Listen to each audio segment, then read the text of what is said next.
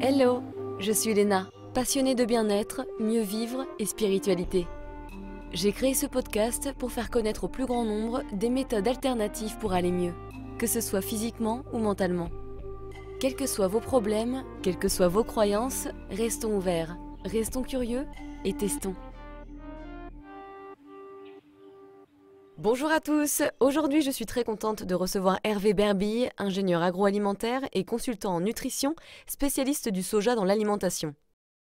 Ça faisait très longtemps que j'avais envie d'interroger un spécialiste sur le soja, car on entend à ce sujet tout et n'importe quoi. Un coup c'est bon pour la santé et contre le cancer du sein, puis c'est le contraire. Après t'entends tes copines enceintes te dire qu'elles ne consomment aucun soja pendant leur grossesse, surtout pas. Ensuite tu te dis que ça ne devrait poser aucun problème car les Asiates en consomment depuis des centuries. Mais après on dit oui mais tu sais c'est l'histoire des gènes. Sans parler du fait que quand tu as de l'acné tu sais pas du tout si le soja est bon pour toi. Bref, tu ne sais plus trop quoi penser, même si je me suis toujours dit au fond de moi qu'on en faisait sûrement un peu trop sur ce pauvre petit soja nounet car on a tendance à confondre les différentes cultures de soja et les différents usages. Bah oui. Allez, bonne écoute, ça va être super intéressant. Cet épisode est divisé en deux, by the way. Gros bisous Bonjour Hervé, bienvenue dans le podcast Horizon. Bonjour Lina. Je suis super contente de te recevoir aujourd'hui et de parler de soja parce que j'adore le soja. Je suis une grosse fan du tofu, du tempeh, de natto, etc. Et je veux que la vérité sur ce sujet éclate enfin. Sachant que ces dernières années, on a entendu tout et son contraire au sujet du soja. Alors toi, tu es ingénieur agroalimentaire, consultant en nutrition et spécialiste du soja dans l'alimentation, aka Dieu du tofu. Peux-tu nous dire pourquoi tu t'es intéressé à ce sujet? Parce que ça aurait pu être le vin, le pain, le fromage, quelque chose de très cliché français. Je m'intéresse beaucoup au vin. D'ailleurs, je suis en train d'en boire maintenant. À non, c'est pas du vin. Non, non, non, Je voudrais terminer la conférence euh, en bon état. Non, non ce n'est pas du vin. Alors, pourquoi je me suis intéressé au soja? Bon, parce que comme tu l'as rappelé, j'ai une formation d'ingénieur agroalimentaire. Donc, moi, je m'occupe, je ne suis pas agronome. Hein. Les agronomes, ce sont les, des ingénieurs euh, chargés de la production, végétale ou animale. Moi, je suis ingénieur agroalimentaire, donc on intervient dans l'étape juste après, qui est celle de la transformation. Et euh, donc, on touche très directement à l'alimentation. On, on, a une formation à la base qui est euh, de biochimiste, avec des notions de, physique qui, qui, sont aussi importantes dans le domaine d'activité et euh, un petit peu les, enfin pas les hasards de la vie, puis j'ai choisi cette, cette, formation, mais les hasards de, la vie ont fait que je me suis euh, trouvé spécialisé, je me suis spécialisé au cours de ma carrière dans la nutrition infantile. Euh, et donc j'ai commencé à, à regarder de très près qu'est-ce qui, à défaut du lait maternel, qui est évidemment sans conteste possible le meilleur aliment pour les bébés, à défaut de cet aliment, euh, de l'aliment de référence, euh, quel était euh, le meilleur lait infantile qu'on pouvait donner à un bébé, sachant que pour faire simple, on a comme possibilité actuellement soit des laits infantiles à base de lait de vache ou de lait de chèvre, soit des laits infantiles à base de soja, un peu à base de mais ça c'est très provisoire parce que je pense que les laits infantiles à base de riz vont peut-être plus être autorisés. Euh, donc euh, subsistent, euh, disons, deux alternatives, puisque les de vache et les de chèvre, les infantiles à base de lait de vache ou de lait de chèvre, c'est sensiblement la même chose de mon point de vue, et le soja. Donc je me suis penché sur le soja, sur les laits infantiles à base de soja. J'ai consulté la littérature scientifique disponible là-dessus, qui au contraire, et ça c'est déjà un premier point de désaccord avec les adversaires du soja que j'ai, une de leurs objections consiste, au soja consiste à dire qu'on dispose de peu de littérature scientifique sur ce sujet, et notamment en matière de nutrition infantile. Or, euh, je me suis rendu compte que ce n'était pas du tout vrai. Euh, alors, c'est pas innocent, hein, cette, euh, cette, amnésie des détracteurs du soja, parce que si on lit le rapport de l'ANSES, donc l'AFSA, qui, c'était l'ancien nom de l'AFSA, on lit, donc il a été publié en 2005, il est dans une tonalité très, hostile au soja, et on lit que le soja, les laits infantiles à base de soja sont utilisés en France depuis 30 ans, comme donc ça a été publié en 2005, ça nous renvoie en gros euh, vers le milieu des années 70, ce qui fait quand même 30 ans de recul, c'est quand même pas mal pour évaluer euh, une molécule ou un aliment. Si au bout de 30 ans il ne se passe rien, on peut déjà penser que c'est quand même un élément qui plaident en faveur de l'innocuité du soja. Mais visiblement, ça ne leur suffit pas. Et en fait, je me suis rendu compte que sur ce point qui n'est pas euh, scientifique, qui, je dirais, qui relève de, de l'histoire du soja, qui est un point historique, on se rend compte qu'en réalité, les laits infantiles de soja en Occident euh, commencent à être utilisés euh, très précisément en 1929 avec un produit qui s'appelle euh, Sobi, oui, tout à fait. Et donc, ce n'est pas, on n'a pas 30 ans de recul, qui est quand même qui est déjà considérable, pas mal. mais on a plus presque un siècle de recul. Donc, si le soja posait problème chez les enfants, chez les nouveau-nés qui sont particulièrement fragiles, par ailleurs, on s'en serait rendu compte au bout d'un siècle d'utilisation. Donc déjà dans le rapport euh, de l'AFSA, il y a une, euh, une petite amnésie un, petit peu suspecte, parce qu'il faut bien comprendre que si on, rétablit la, date exacte de l'introduction de, des laits infantiles à base de soja, je parle en Occident, hein, parce qu'après, en, Asie, le soja est utilisé, est, introduit très précocement dans l'alimentation des bébés dès le quatrième mois sous forme de tofu. Hein. C'est-à-dire les mamans euh, écrasent du tofu, le mastiquent, le donnent au bébé, etc. C'est avec du riz. Bref. En, Asie, c'est également beaucoup plus ancien. Mais rien qu'en Occident, euh, on a déjà pratiquement un siècle de, recul. Donc si chez les, et ça c'est un enjeu, ce petit escamotage de la part des détracteurs du soja de la, de la date réelle de son introduction de l'alimentation infantile en Occident, il est lourd d'enjeux parce que on comprend bien que si au bout d'un siècle d'utilisation, ce qui fait euh, un certain nombre de générations, 5, peut-être 6 générations, euh, s'il y avait un problème avec le soja, on s'en serait forcément rendu compte. Surtout cette population qui est les des nourrissons, qui est vulnérable par, par nature, qui euh, parfois reçoit le soja, les laits infantiles à base de soja comme aliment exclusif pendant les six premiers mois de la vie, voire au-delà. Donc autant dire que s'il y avait un problème euh, si le soja posait un quelconque problème de, toxicité, de nocivité euh, de quelque nature que ce soit, ça ne pourrait pas échapper euh, aux, médecins, aux pédiatres, aux scientifiques. Euh, on s'en serait rendu compte. Ce serait un cas unique dans la science où, euh, vraiment, après un siècle d'utilisation, on soit passé à côté d'un aliment qui serait très toxique. petite question. Oui. Est-ce que, tu, quand tu parles de, depuis 1929, parce que c'est vrai que nous, on n'a pas du tout connaissance de ça, mhm. il y avait beaucoup de gens qui utilisaient euh, le lait de soja pour enfants à cette époque? Oui, c'était assez. Je pense, alors, les, les, chiffres exacts, je ne les connais pas. Bien sûr. Mais je pense que c'était assez répandu puisqu'il y avait un produit qui était fabriqué industriellement. Il y avait une production industrielle de ce produit qui s'appelle Sobi et qui maintenant existe toujours. évidemment, la formule a été améliorée parce qu'à l'époque, c'était une formule assez sommaire. C'était en gros de la farine de soja avec un peu de minéraux, etc. Maintenant, les formules à base de, de, de soja sont beaucoup plus sophistiquées. Mais euh, ce qui est intéressant aussi, c'est que les, le, SOBI à l'époque contenait, contenait, beaucoup plus de phytoestrogènes, les, les, molécules très controversées sur lesquelles on va forcément revenir, euh, que les formules actuelles. Donc, ça veut dire qu'on avait un produit riche en phytoestrogènes qui ne posait aucun problème, on voit mal comment des produits qui en contiennent encore beaucoup moins aujourd'hui, euh, peut-être 5 à 6 fois plus, peut-être 10, enfin vraiment pour montrer des teneurs beaucoup plus réduites, pourraient en poser aujourd'hui. Donc cet escamotage euh, euh, de l'introduction du, soja dans l'alimentation infantile, il est, il est lourd d'enjeux. Il n'est pas innocent de la part des détracteurs du soja. Ouais, c'est clair. Et alors justement, ma question, c'est pourquoi le soja est un sujet autant controversé? Parce que c'est vrai que ça date, ça fait très longtemps en fait qu'il est diabolisé ce petit. Oui, alors, euh, et ça, ça a été dès le début. Hein. J'ai trouvé des documents anciens où en France, on affichait euh, très, ouvertement euh, son, hostilité au soja. Alors maintenant, c'est plus hypocrite, hein, puisqu'on on, feint de croire que le soja est dangereux.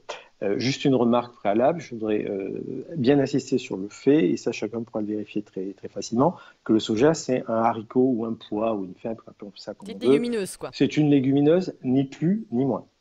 C'est-à-dire c'est pas différent d'un petit pois ou d'un haricot vert. Alors les usages sont un petit peu, un petit peu différents, hein, mais pas, pas guère plus. Euh... Tu me diras, on fait du tempeh de pois chiche hein, maintenant On fait du tempeh de pois chiche, mais traditionnellement, on fait du tempeh de soja, mais pas seulement. On fait, euh, en Indonésie, on fait du tempeh de noix de coco, du tempeh d'arachide, etc. Le tempeh, c'est pas euh, c'est pas propre au soja. Hein. il y a plusieurs types de tempeh. Et euh, ça aussi, c'est intéressant de soulever parce que les adversaires du soja disent le soja, si on en consomme, il faut que ce soit fermenté parce que sinon c'est dangereux. On fait du tempeh de voilà, on fait du tempeh de noix de coco. la noix de coco non fermentée, ça n'a jamais tué personne. Hein. donc voilà, c'est ou en France, on, utilise, on fait fermenter le jus de raisin pour faire du vin, mais c'est pas parce que le jus de raisin est dangereux. Ah, c'est parce qu'on a envie de boire du vin. Et j'en fais partie. Et euh, donc voilà. Donc, euh, donc voilà, c'est cette histoire de fermentation. Elle, est d'abord ça, ne repose sur rien parce que même en Indonésie où le, où le tempeh est, l'aliment, euh, un aliment très populaire, mais il n'est pas consommé en Chine. on ne consomme pas de tempeh en Chine. même en Indonésie où il y a un tempeh qui serait donc selon la, la rhétorique des, des adversaires du soja pas dangereux parce que fermenté, malgré tout, on consomme quand même du tofu. Et ça, c'est quelque chose que j'ai pu constater pendant de, de, en Indonésie. Euh, dans, il, est, fréquent, par exemple, de, consommer du tofu et du tempeh dans le même plat, ce qu'on appelle le gado-gado, euh, sous forme de germes de soja, de germes véritables de soja, de tofu et de tempeh. On a les trois formes de soja réunies parfois dans le même plat. Et euh, plus de la sauce de soja, qui elle est fermentée. Enfin voilà, on, rencontre les deux. Et en Indonésie, où le tempeh et le tofu sont tous les deux disponibles, au même prix, les gens consomment indifféremment l'un ou l'autre. Hein. C'est donc si le tempeh, si le, tofu non fermenté, le soja non fermenté était dangereux, les gens en Indonésie qui peuvent disposer aisément de tempeh ne consommeraient pas de tofu, par exemple. Mais alors, c'est quelles industries qui veulent que le soja continue à avoir mauvaise réputation et pourquoi? Alors, il y a plusieurs. Alors, il y a évidemment l'industrie laitière, hein, parce que le soja euh, est l'industrie de la viande, puisque forcément, disons l'élevage, puisque le soja offre des alternatives euh, euh, qui s'incorporent très directement euh, dans notre alimentation sans qu'on ait besoin de modifier la structure du repas. donc, par exemple, un steak de soja, ben, voilà, ça s'utilise comme un steak de bœuf. Et ça, peut être accompagné de la même façon de frites, de ketchup, dans un hamburger, dans des, aliments très, très consommés en France. ou du yaourt ou du lait de ou Du yaourt, voilà. Donc c'est que le soja permet des substitutions très aisées. Euh, par rapport au. Et c'est ce qui lui vaut évidemment cette, euh, cette, cette hostilité par les intérêts qu'il qui, qui menace. Mais euh, il y a aussi, alors il y a, y a, beaucoup, beaucoup de gens qui n'ont pas intérêt à ce que le soja se développe. Il y a l'industrie chimique et l'industrie pétrolière, je m'explique. Le soja, euh, alors d'un point de vue environnemental, c'est pas un inconvénient bien sûr, hein, mais de leur point de vue à eux, ça en est un gros. C'est que le soja produit lui-même son engrais azoté. Or l'engrais azoté, euh, bah, l'industrie chimique euh, n'a pas intérêt à ce que le soja se développe parce qu'il perdrait le marché de l'engrais azoté puisque le soja la produit tout seul, comme toutes les, légumineuses. L'industrie pétrolière n'y aurait pas intérêt également parce que pour produire des engrais azotés, ce que faisait AZF à, Toulouse, de triste mémoire, euh, il faut beaucoup d'énergie donc les industries de l'énergie, pour oxyder l'azote de l'air, il faut énormément d'énergie, puisque l'azote de l'air qui sert à la fabrication des nitrates, euh, c'est une molécule très stable pour l'oxyder, la, la transformer en nitrate ou en nitrite. Euh, il faut beaucoup d'énergie, donc les industries pétrolières voient ça aussi d'un mauvais œil. L'industrie pharmaceutique, le premier marché euh, de l'industrie pharmaceutique, ce sont les statines, ah les médicaments anti-cholestérol. Une généralisation du soja ou des protéines végétales, hein, de la même façon, n'importe quelle protéine végétale n'a pas très les mêmes effets. Euh, disons des légumineuses, c'est aujourd'hui la journée des légumineuses, je crois. des autres légumineuses. Bonne fête. Voilà, merci. Et merci pour elle et elle le mérite. Et euh, si les légumineuses, là, il y a une, étude qui est sortie très récemment qui montre qu'un régime végétalisé est beaucoup plus efficace que les médicaments pour baisser la cholestérolémie et sans les effets secondaires des statines. Mm. Ce qui est juste une parenthèse sur les statines, c'est qu'elles baissent le cholestérol, mais elles ne baissent pas la mortalité. Donc, quand les, quand les laboratoires pharmaceutiques montrent des études aux, médecins, ils montrent les, courbes de cholestérol qui s'infléchissent, mais ils ne montrent pas les courbes de mortalité qui restent euh, identiques, voire peut-être même pires que, ce que sans traitement.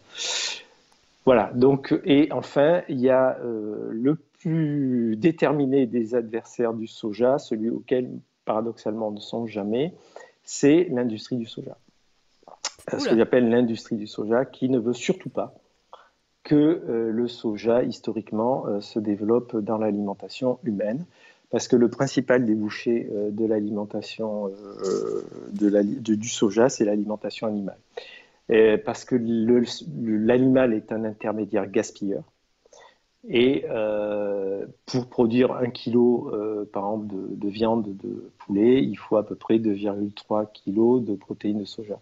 Donc si on consomme, par exemple, dans le cas du poulet, directement des émincés de soja, on va réduire par 2,3 hmm. les besoins en soja. Pour les Alors, pour les, voilà, si on, on, consomme, on court-circuite l'animal, on consomme, directement le soja, parce que l'animal, il va utiliser le soja pour produire des choses qui ne sont pas, qui ne sont pas utiles et valorisables, de la carcasse, des plumes, des sabots pour les mammifères, etc. Dans le cas du bœuf, c'est encore pire, hein, puisque là, le gaspillage, c'est de 1 pour 7 à peu près. Je voudrais, je voudrais juste lire euh, un document que j'ai trouvé qui date de 1962, qui a été publié dans une revue qui s'appelle la Revue agricole de France, qui n'existe plus, mais qui a changé de nom, qui existe sous un autre nom maintenant, peu, importe. C'était en 1962. Donc, en 1962, euh, les États-Unis euh, commencent à partir à la conquête du marché européen pour l'alimentation animale. Et les Américains, les, producteurs de soja états-uniens plus exactement, parce qu'américains c'est imprécis, maintenant on sait qu'il y a le Brésil aussi hein, qui est sur les rangs, qui est un concurrent redoutable des, États-Unis. Ils sont pratiquement, il faut pratiquement jouer égal ou peut-être même dépasser maintenant. Euh, ils s'empressent bien de dire que, bon, alors ils précisent bien que le soja c'est merveilleux pour les volailles, ça améliore euh, la productivité, la chair des volailles, le nombre d'œufs pendus, etc. Donc, ce qui est, ce qui est vrai. Hein. Euh, mais il se précise bien euh, qu'il ne s'agit surtout pas de concurrencer les produits de l'élevage. Dans leur esprit, ils rassurent les, agriculteurs français. Donc, ils leur, donnent l'exemple de la Grande-Bretagne, qui a, qui a des liens particuliers avec les États-Unis. Donc, ils ont commencé par la Grande-Bretagne. Et ils veulent étendre leur, euh, ce qu'ils vont faire avec succès d'ailleurs, ils veulent étendre le, le soja, l'alimentation des volailles françaises. Donc voilà ce qu'ils disent. Nous pensons par exemple qu'en aidant l'aviculteur à résoudre ses problèmes de nutrition, en l'aidant autant que nous le pouvons à améliorer ses conditions de distribution, nous sommes non seulement à son service, mais encore à celui de toute l'industrie de l'alimentation animale. Donc il est clair que l'industrie euh, du soja euh, états-unienne ne veut surtout pas concurrencer les produits euh, de l'élevage, elle veut les nourrir parce que, au contraire, les nourrir, être un partenaire, mais surtout pas un concurrent. Elle veut être un fournisseur, mais surtout pas un concurrent parce qu'il y a un effet démultiplicateur par mmh. l'alimentation animale.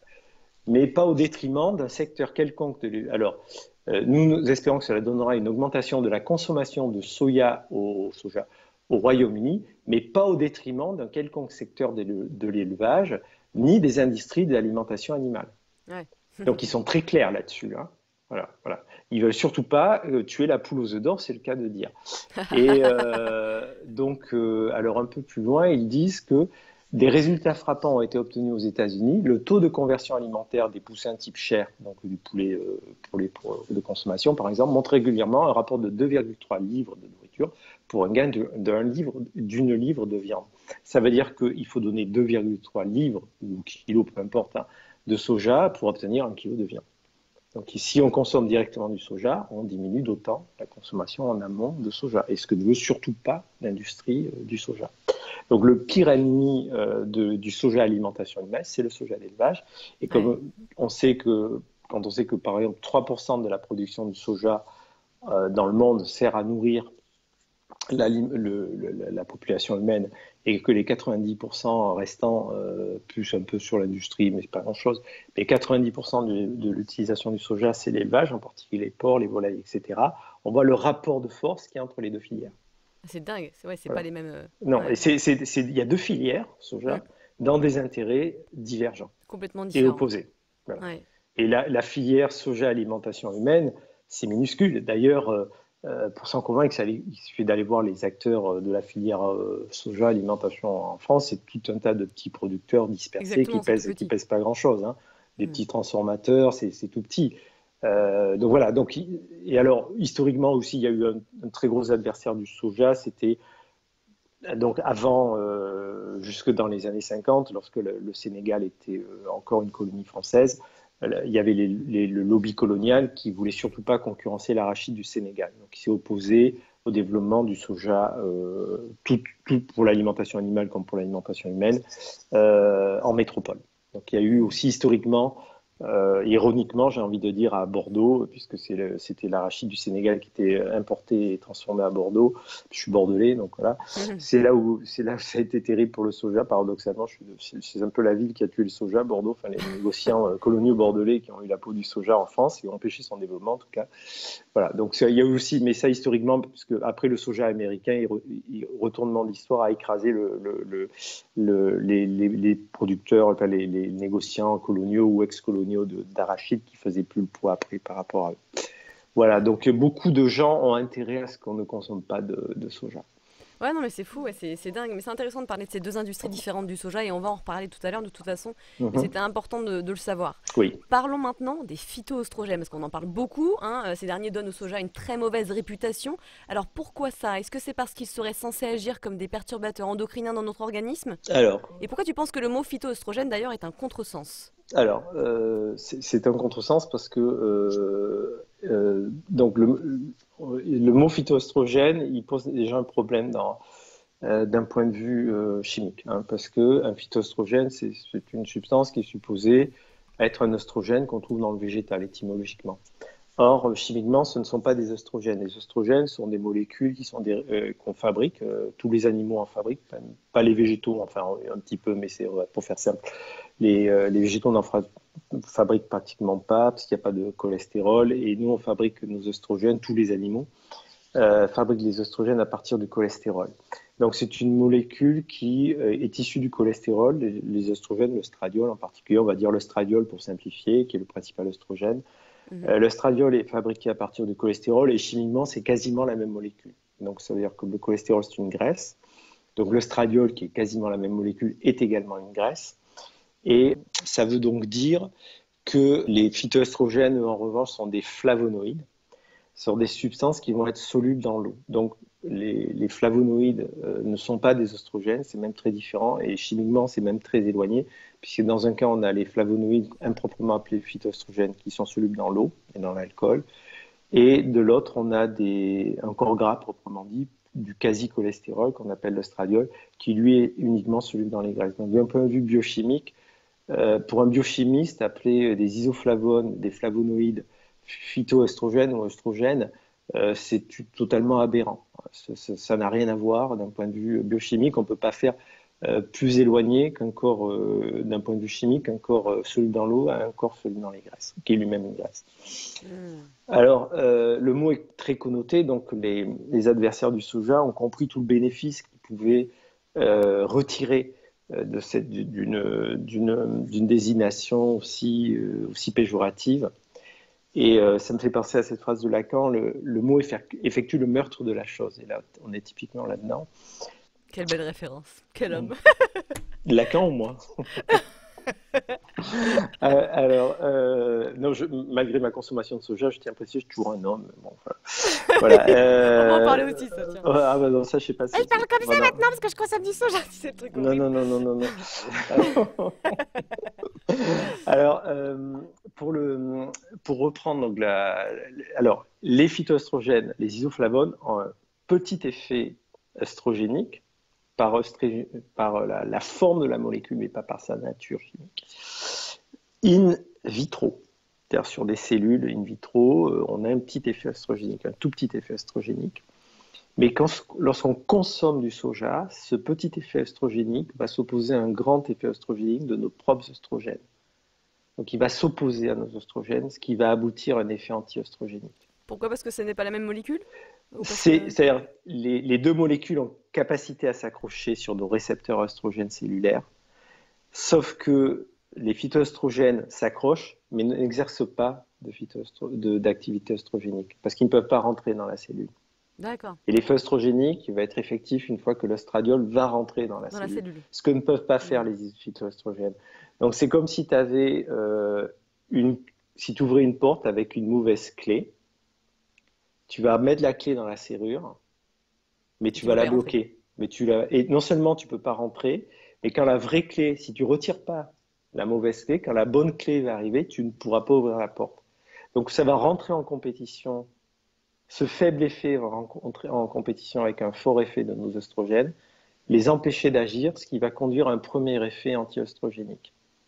Il y en a deux autres qu'on peut citer, c'est que les phytoestrogènes, les isoflavones, les flavonoïdes en général, qu'ils soient du soja, de l'huile d'olive, des pommes, des, fruits rouges, tout ce qu'on voudra, euh, vont bloquer l'action d'enzymes particulières qu'on appelle les aromatases, c'est-à-dire c'est précisément les enzymes qui transforment le cholestérol. Alors il y a plusieurs étapes, mais enfin une des étapes chimiques, ils vont empêcher la transformation, enfin bloquer, limiter en tout cas, la transformation du cholestérol en oestradiol. Donc ça va être en compétition avec nos, nos oestrogènes, limiter leur production, la faire baisser, et ils vont stimuler euh, des, des protéines particulières qu'on appelle les SHBG, bon, peu importe. Ce sont des protéines parce que nos oestrogènes sont dangereux. Donc l'organisme les produit pour la reproduction, mais s'en protège en même temps. Et donc, il en produit des, des SHBG, Sex Hormone Binding Globulin, ce sont des globulines, des petites protéines, qui vont épurer le cholestérol, l'estradiol. Donc, les, les isoflavones vont stimuler la production de ces globulines, ce qui va aussi conduire à une épuration plus rapide de nos oestrogènes. Donc, quand on une vie, il y, a, il y, a, un changement complet de décor entre une boîte de culture cellulaire et un organisme vivant. Dans la boîte de cellules, dans la boîte cellulaire, on va avoir un petit effet oestrogénique.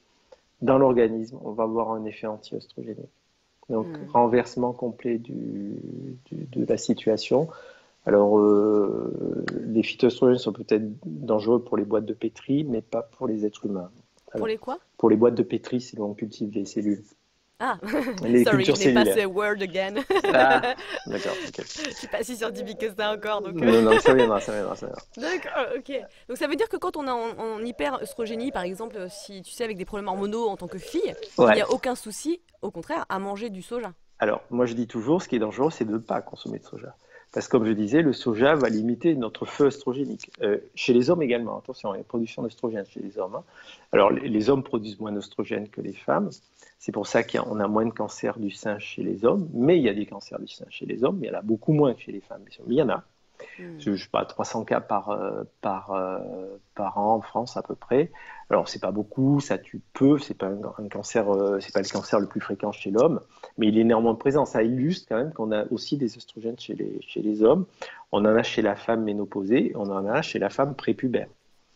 Et nos oestrogènes vont stimuler en permanence nos glandes sexuelles, alors testicules chez les hommes, ovaires et seins chez la femme ce qui, ils vont pousser à la division cellulaire et donc augmenter le risque d'erreur de, réplication et donc le risque de cancer. C'est pour ça qu'on a intérêt à réduire notre production œstrogénique en consommant des composés riches en, flavonoïdes, le soja, mais les fruits rouges, l'huile d'olive, euh, les, crucifères, enfin, tous les végétaux. Parce qu'ils vont, et c'est pour ça que c'est dangereux de ne pas consommer de soja, parce que c'est là où intervient l'ostrogénisation du corps par le corps lui-même. Donc, hmm. on n'a pas de moyen de se protéger de nos oestrogènes, on en produit en permanence, quel que soit l'âge. Alors, évidemment, les plus à risque, c'est les femmes euh, qui sont entre la puberté et la ménopause, cette période-là, hein, je pense que ça te concerne. Donc là, toi, tu as intérêt. Je suis en ménopause, c'est bon. non, je pense pas. Euh, euh, toi, tu as intérêt, plus quiconque, à consommer des, aliments riches en flavonoïdes, en, en, clair, des végétaux. Pour te, végétaux complets. C'est ce que je fais. Eh bien, c'est très bien. Eh bien, continue. Je voudrais parler de, cette rhétorique qui consiste à dire que le soja est un perturbateur endocrinien. Alors, il n'en est rien, puisque euh, ça n'a jamais été constaté par les études scientifiques disponibles. Encore une fois, on a une, littérature scientifique qui est quand même assez conséquente. On l'a jamais constaté. En revanche, ce qu'on a constaté, c'est que le soja, les, les flavonoïdes, protégeaient des véritables perturbateurs endocriniens par exemple, le cadmium. Le cadmium, un, ça fait partie des, c'est un métal, euh, métal lourd, c'est un métal toxique comme le plomb, l'arsenic, le mercure.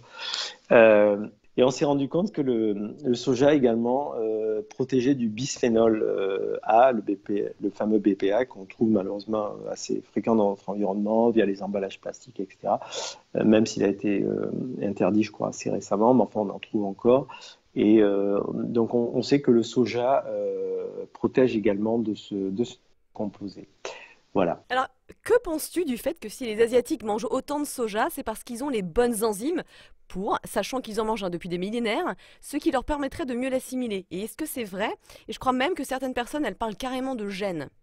En ce qui concerne les enzymes, je, vais être très clair, il n'y a pas de différence entre les, Occidentaux, les Caucasiens et, les Asiatiques. Une, remarque, c'est qu'il peut y avoir plus de différences génétiques entre un Chinois et un Français qu'entre, par exemple, un, un, Français, un, Chinois et un, Chinois et un Japonais, par exemple, ou un Français et un Espagnol. Euh, donc, euh, c'est pas parce qu'il y a une proximité géographique, il y a forcément une proximité génétique. Et l'Asie, par exemple, euh, euh, quand on parle de l'Asie, il faut savoir, en général, dans l'esprit des gens, c'est l'extrême-orient, ce qu'on appelait autrefois l'extrême-orient. Malheureusement, le, terme est en désuétude, mais c'est dommage parce qu'il ne faut pas oublier que les Indiens sont des Asiatiques et les véritables Ariens, ce sont les Indiens. Ce ne sont pas les nazis, hein, c'est les ce terme, mais les, Ariens, euh, historiquement, ce sont, les Indiens.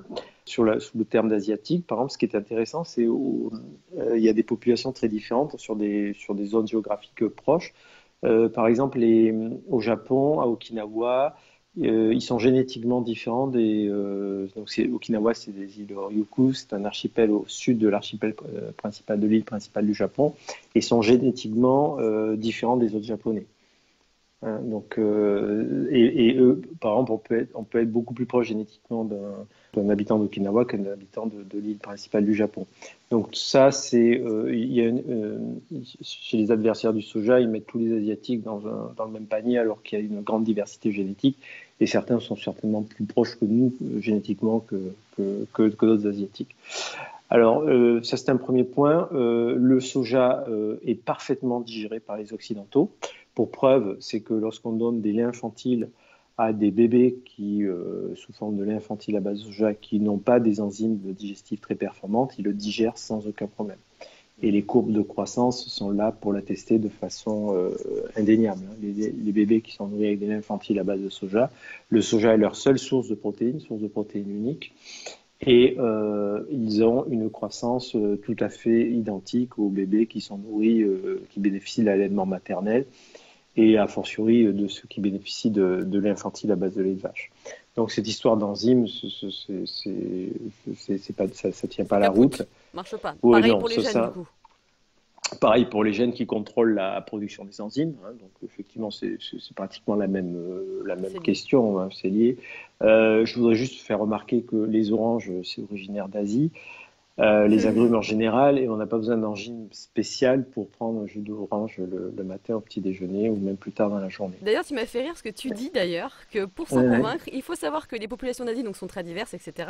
Mais aussi, tu m'as fait rire quand tu as uh-huh. dit, dans le même ordre d'idées, faut-il avoir des gènes Inca ou Maya pour digérer la tomate et la pomme de terre, respectivement originaires d'Amérique centrale et du Sud? Évidemment non. Ou les mougettes de Vendée, qui sont euh, à la base des haricots d'Amérique latine. Ouais. Donc tu vois, ça replace un peu les choses. On digère, on digère très bien, ou les les lentilles euh, qui sont originaires d'Égypte. Ou le pain, le blé qui est originaire d'Anatolie. On n'a pas besoin d'avoir des, ancêtres turcs pour des baguettes de pain. Donc euh, voilà, bon, il n'y a aucune base scientifique euh, là-dessus, hmm. évidemment. Non, mais c'est rassurant, j'aime bien ce petit argument. Alors j'ai entendu pas mal de femmes, y compris de bonnes amies, me dire ne pas consommer de soja pendant leur grossesse. Qu'est-ce que tu penses de ça? Est-ce qu'il y a vraiment des risques? Alors, il y a effectivement un risque, c'est de ne pas consommer de soja pendant sa grossesse. Il y a ah, effectivement... boum Parce que qu'est-ce qui va se passer? C'est que euh, tes amies, euh, elles vont exposer euh, de plein fouet leur fœtus, leur bébé, leur futur bébé, à leurs propres estrogènes.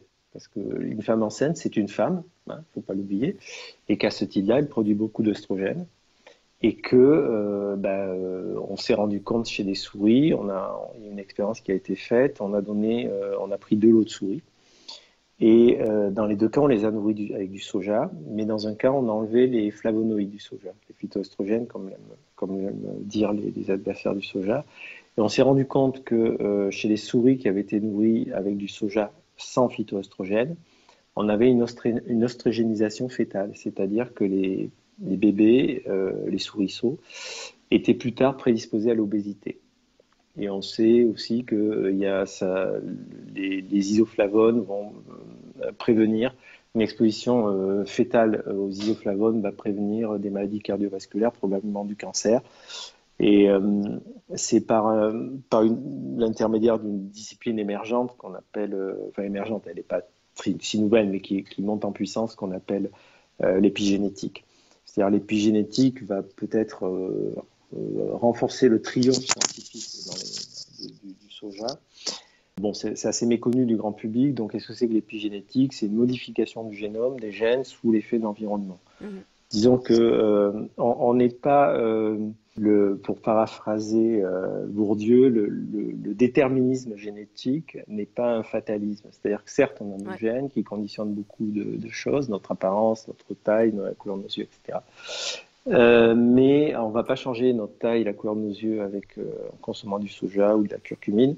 En revanche, ce qu'on va faire, c'est quand on expose des, des, jeunes enfants ou dans leur vie fétale ou leur, première, leur première alimentation à des flavonoïdes ou de soja, on va activer chez eux des gènes anticancéreux.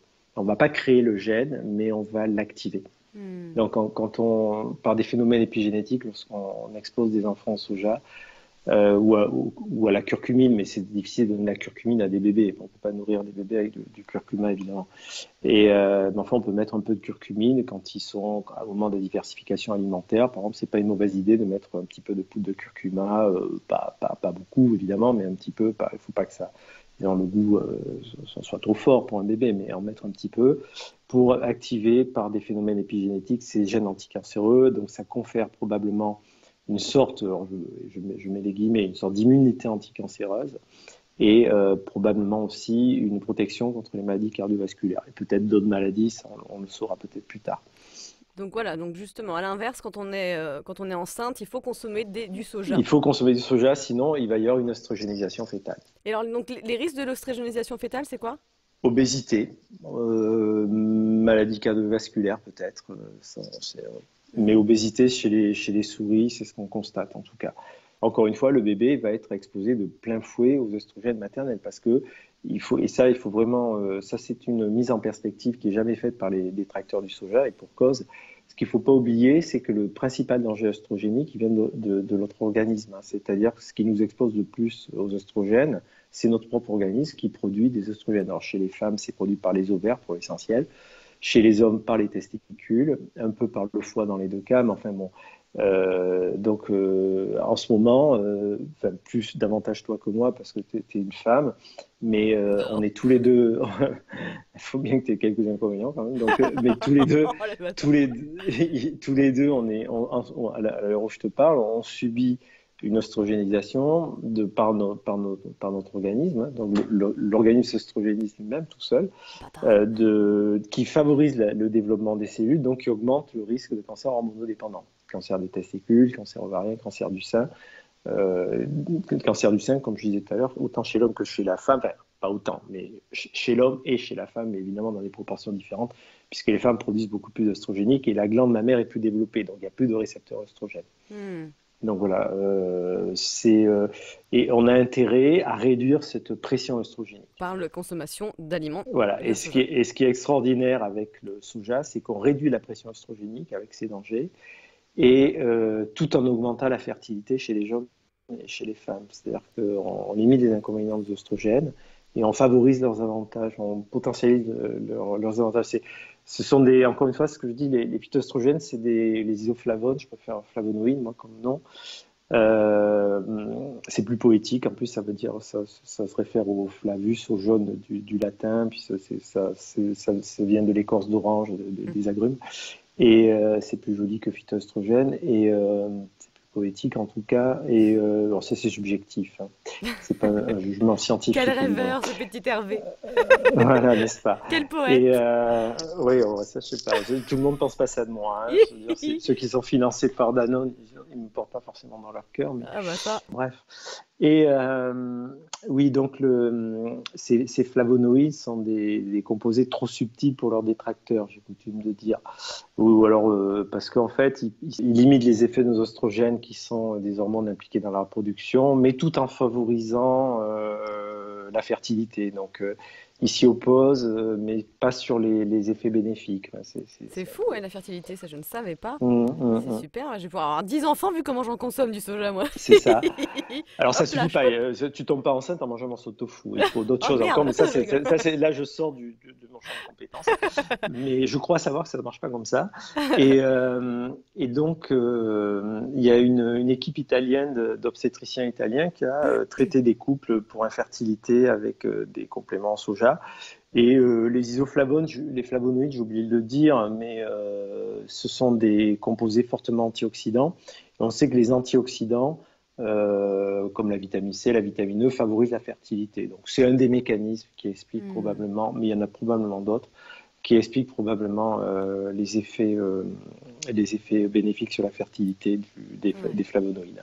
Puisque, alors, ce qui est très intéressant, c'est que les, les, phytoestrogènes perturbent la fertilité des brebis, mais ils la favorisent chez les porcins. Donc, ça veut dire que l'extrapolation homme-animal est toujours très périlleuse. Hein, donc, euh, chez, les, chez, le, chez, le, cochon, on, on, améliore la fertilité. Chez la brebis, les, le trèfle, qui est une légumineuse, les champs phytoestrogènes, certaines variétés de trèfle vont perturber euh, la, fertilité des, brebis. Hmm. alors que le soja améliore la fertilité chez le porc et chez l'homme, sachant que le porc est un modèle, euh, le modèle animal le plus proche de l'homme avec les primates. Donc on est très proche de, du, cochon. Voilà, je, n'en tire pas d'autres conclusions. Hein, que voilà, je suis pas là. Mais alors, euh, qu'en est-il des laits maternels? Parce qu'on a parlé vite fait du lait de riz euh, au début, et ça, ça m'intéresse. Mhm. D'ailleurs, tu dis que ça va potentiellement être retiré du marché. Mais à côté de ça, donc à ce point-là, et donc je pense aussi qu'il y a un bon nombre de personnes qui ont une mauvaise image hein, et qui sont plus habituées au lait de vache maternisé, qui mhm. pourtant n'est pas sans conséquence. Hein. Mhm. Donc euh, voilà, c'est hyper inflammatoire, on le sait. Enfin, parle-nous un petit peu de tout ça. Je suis curieuse d'avoir ton avis. Alors là, c'est vraiment le cœur de mon métier. C'est les, bah oui, ça, 30 ans, 30 ans que je fais des, des formules de lait infantile. Ouais, donc tu es stagiaire. Quoi. À, ma grand, à mon grand oui, c'est ça. Et mais il faut rester dans, une, dans un état d'esprit de, stagiaire. Il faut toujours être humble. Hein, on apprend des choses tous les jours. Sûr. Euh, le, le, lait de vache donné précocement par des phénomènes épigénétiques euh, pourrait avoir, lui, favorisé le cancer colorectal euh, plus tard. Peut-être d'autres cancers, mais en tout cas le cancer colorectal. Euh, je, voudrais juste aussi faire une, petite parenthèse, ouvrir une parenthèse sur les, hormones. Donc, comme j'espère l'avoir démontré, il n'y a pas d'hormones dans le soja, mais au contraire, euh, des, ni de perturbateurs endocriniens, mais au contraire des flavonoïdes qui protègent contre nos hormones et contre les perturbateurs endocriniens.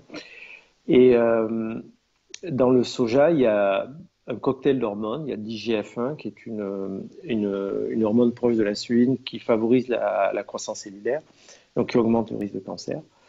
Et euh, dans, les produits laitiers, c'est ça hein? Dans les produits laitiers, oui. J'ai dit dans le soja. Je crois qu'il y a les soja, c'est pour ça que je me disais non, on parle bien ah, des produits laitiers. dans, les, dans, les, dans, les, produits laitiers, il y a l'IGF-1, Voilà, l'IGF-1, oui. Ce qui est une, une hormone proche de l'insuline, donc qui, qui, active la division cellulaire, donc qui augmente euh, le risque de cancer.